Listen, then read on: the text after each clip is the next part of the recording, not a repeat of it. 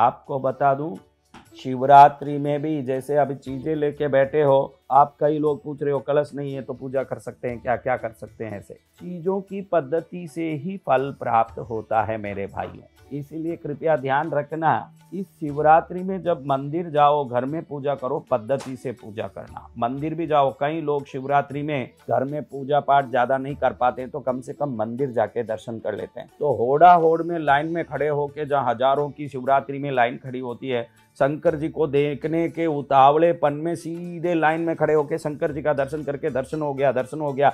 मेरा तो बहुत अच्छे से दर्शन हो गया। आप ध्यान रखिएगा शिवागम कहता है कि शिवरात्रि के दिन पद्धति से जो दर्शन करता है, उसको फल अनंत कोटि गुना हो जाता है। यानी शिवरात्रि में जिस शिव मंदिर में जाओ, प्रथम वहाँ जो गणेश जी है, उनका ज़रूर दर्शन करो। उनका दर्शन करने के बाद नंदी जी का पहले दर्शन करो। कितना भी भीड़ हो एक गणेश जी का दर्शन करके, क्योंकि नंदी को ही अधिकार दिया है कि अंदर जाने वाले को कृपा प्राप्त होने की तरंगे प्राप्त हो। अगर उन्होंने वो तरंग रोक दिया, अंदर जाके दर्शन करके मन प्रसन्न होगा, लेकिन पुण्य प्राप्त नहीं होगा कृपा का। इसलिए पहले गणेश जी की आप दर्शन कर लो। दर्शन करने के बाद नंदी का दर्शन करो और हो सकें तो नंदी के दोनों सिंगों के पीछे, यानी उनके शरीर के पीछे खड़े होके, उन सिंगों के बीच में से भगवान शिवलिंग का दर्शन करो। अगर आपने शिवरात्रि में ऐसे कर लिया तो आपके शिवरात्रि को अनंत सुखमायर दिन बनाने में कोई भी रोक नहीं सकता।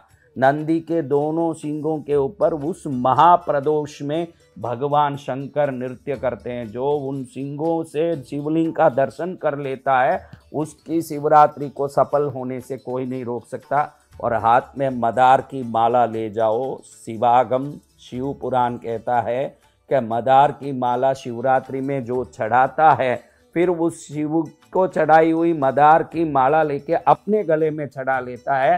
वो पूरा शिवरात्रि की आराधना के पुण्य कृपा को अपने ऊपर प्राप्त कर लेता है। इसलिए मदार की माला शिव मंदिर ज़रूर ले जाके चढ़ा के फिर उस माला को अपने ऊपर धारण करना प्रसाद के रूप पर बहुत बड़ा फ़ायदा होगा प्रभु की कृपा का। और ऐसी शिवरात्रि को धूमधाम से मनाना है। बहुत जल्दी